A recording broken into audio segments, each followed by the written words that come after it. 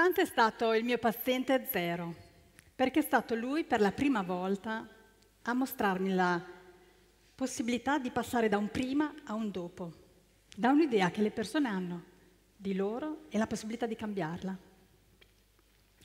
L'ho conosciuto perché lo inviarono i medici, aveva avuto una diagnosi di malattia e ricordo perfettamente la prima frase che mi disse, sono qua perché loro, i medici, mi hanno inviato. Io non ne sentivo la necessità. Ho sempre pensato di fare bene la mia vita, perché poi, dottoressa, sono sempre stato fortunato. La fortuna. Per Guido Speranza era una parte importantissima della sua vita.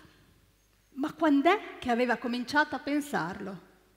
Quando è che un'idea entra nelle vostre teste e vi accompagna per tutta la vita magari e vi potrebbe condizionare senza che voi ve ne possiate accorgere. Allora chiesi a Guido Speranza quando è che per la prima volta pensò di essere fortunato.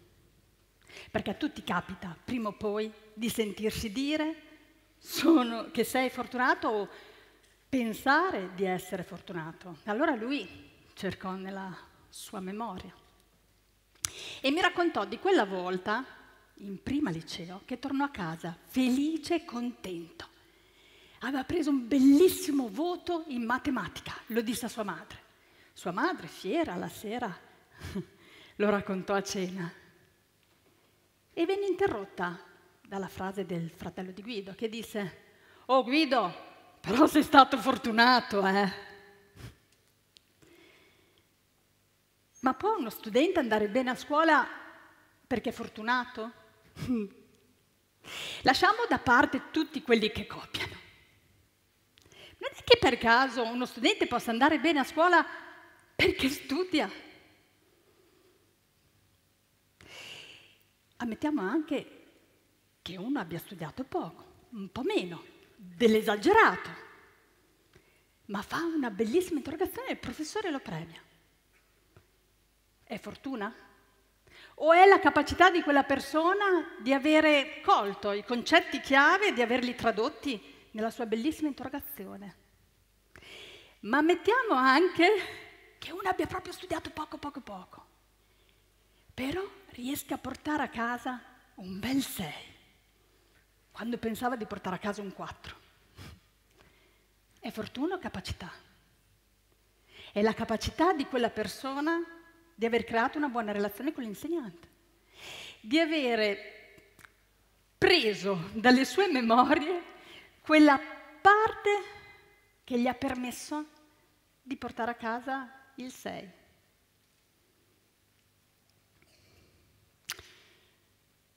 Cosa accadrebbe se noi iniziassimo a cambiare l'idea della fortuna? Chiesi a Guido Speranza, durante i nostri colloqui, di non usare più la parola fortuna, di fare un esercizio. Un esercizio che vi, se vi piacerà lo potrete fare anche voi tornando a casa o nei prossimi giorni, ripensando a questa giornata. Chiesi di togliere dalle nostre conversazioni, dai nostri colloqui, la parola fortuna e di sostituirla con sono stato capace, sono capace. Per poterlo fare, però, perché? È difficile come esercizio, e se voi ci ripensate, se voi ci state pensando in questo momento, vi accorgerete che tantissime volte voi lo dite, di voi stessi e degli altri, molte volte più degli altri, quando dice, dite siete stati capaci, siete stati fortunati a portare a casa quel risultato. E allora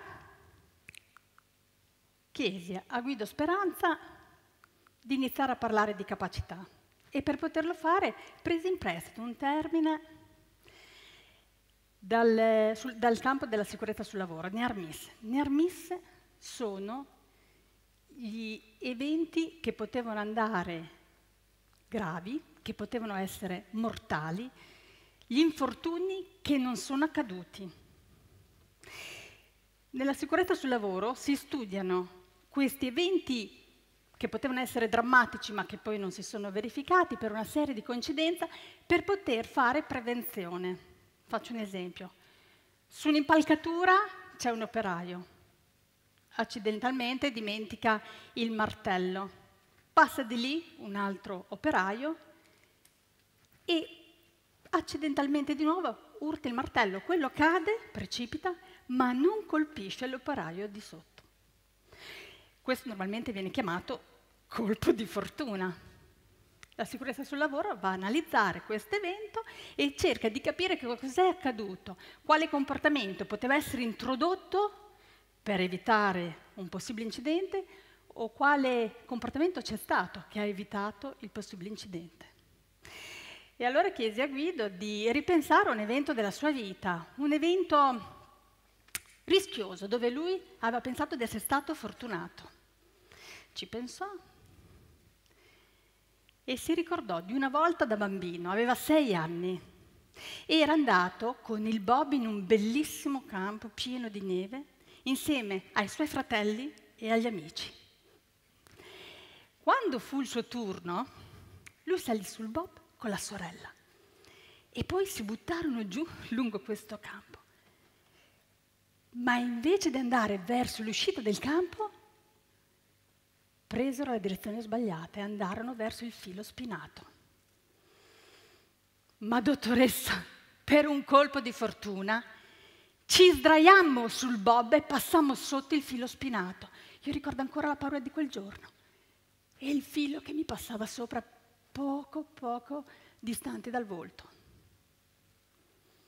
Bene, Guido, rileggiamo la stessa storia, ma guardiamola in modo diverso. Perché salì sul Bob con sua sorella? Ah, fu lei, disse, vieni con me e io avrei scelto lei tra mille, perché lei mi ha sempre dato sicurezza. Ma poi, quando siete scesi da questo campo, cosa è accaduto? Perché voi vi sdraiaste, vi appoggiaste la, appoggiaste la schiena sul Bob. Eh, dottoressa, c'è stato un balzo, Guido? Eh, dottoressa, aspetti. No, dottoressa, mia sorella mi abbracciò, mi prese e io mi lasciai andare a lei. E insieme passammo sotto. Ma dopo, Guido, siete tornati sul campo? No, troppo pericoloso quel gioco. Allora Guido mi faccia capire. Ha scelto sua sorella. Sua sorella ha avuto i riflessi pronti e lei si è fidato di sua sorella e alla fine avete anche scelto di non fare quel gioco pericoloso. Allora Guido, voi siete stati capaci. Certo, è ovvio, era molto meglio che Guido non corresse quel rischio quel giorno. Però quante volte a voi è capitato nella vita di correre dei rischi? Avete anche rischiato, magari, di morire o di farvi molto male, ma non è accaduto. E voi avete detto, per fortuna. E invece era perché eravate sobri, avevate scelto la persona giusta e avevate i riflessi pronti. E siete magari stati attenti. Ma cosa accadrebbe se da qui, uscendo, da oggi in poi, non usaste più la parola fortuna e iniziaste a dire che siete capaci? Forse non succederebbe nulla, o forse tutto cambierebbe. Ma cosa accadrebbe se un genitore, un insegnante, un medico, una persona che si relaziona col prossimo, chiunque, un amico, dicesse agli altri sei stato capace? Siete voi che conoscete le vostre storie, voi potete andarle a rileggere tutte e solo voi lo potete fare, andare a rileggere quelle storie, belle o meno belle, che avete svalorizzato con un semplice colpo di fortuna. Vedete, Guido Speranza è stato capace di iniziare a parlare di se stesso e degli altri con molto rispetto, pensando di essere parte di un processo decisionale. Noi viviamo una vita pensando di poter controllare tutto, ma molte cose sono fuori controllo e molte volte le persone hanno paura del fuori controllo, ma non pensano che molte volte quel fuori controllo può essere governato dalle proprie capacità, dalle proprie possibilità di vedere quello che riescono a fare. Io vado a concludere, ma ho una sorpresa per voi. Guido Speranza è qua e io ve lo voglio presentare. Io spero che siate felici di conoscerlo, perché è giunta l'ora che anche voi lo conosciate. Lo volete conoscere? Più convinti! Giratevi sulla vostra destra. Lo vedete? È la parte migliore di chi vi sta accanto. È la parte migliore di voi. In ognuno di voi c'è un Guido Speranza. Tu sei il tuo paziente zero, tu sei il tuo paziente zero, tu sei il tuo paziente zero, perché sarà la capacità di permettervi di capire che potete partire da un prima, che è il vostro pensiero, per arrivare a un dopo, che è il futuro che vorrete, future you.